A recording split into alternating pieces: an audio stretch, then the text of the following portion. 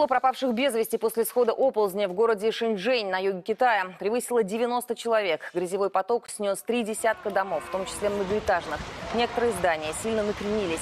По словам очевидцев, после оползня произошел взрыв на проходящем через этот район газопроводе. Информация о возможных жертвах стихийного бедствия пока не поступала. В поисково-спасательной операции привлечены около полутора тысяч человек. Между тем, китайские СМИ сообщают, что оползень сошел не с горы, а с огромной незаконной свалки. По словам местных жителей, последние два года туда свозили строительный мусор и рыхлый грунт, который и поплыл в результате проливных дождей.